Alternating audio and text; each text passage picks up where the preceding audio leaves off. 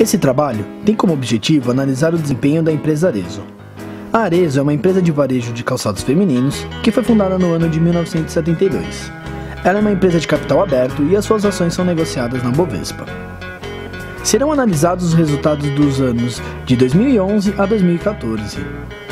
Quando verificamos a necessidade de capital de giro da Arezo, podemos verificar que todos os quatro anos a empresa demonstrou um crescimento do NIG, e os valores dele são positivos, o que indica que a empresa tem condições com seu capital operacional de cumprir com seus deveres operacionais, assim indicando uma situação financeira saudável operacionalmente.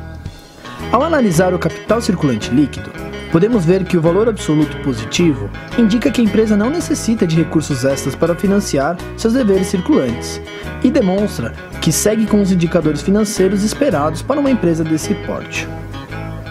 Ao confrontar o NIG com o CCL, iremos avaliar se a empresa tem problemas de tesouraria, o que indicaria que a empresa está utilizando o capital operacional como recurso para seus deveres financeiros de curto prazo.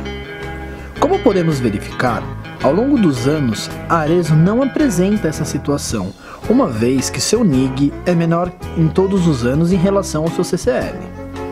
Logo, ela traz uma situação financeira boa para sua operação, onde seu capital operacional não está comprometido quando comparado ao passivo operacional e também não está financiando os seus passivos financeiros.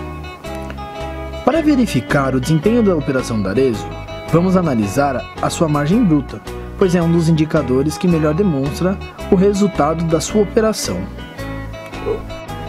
Vemos que a empresa variou de 41,5% em 2011 a 42,7% em 2014, com um pico de 44,2% em 2013.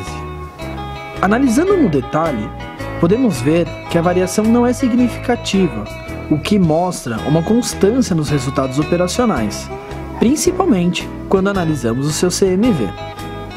A Arezo demonstra estar constante nos seus resultados operacionais, entregando um valor cerca de 43% em média nos últimos anos com um lucro operacional.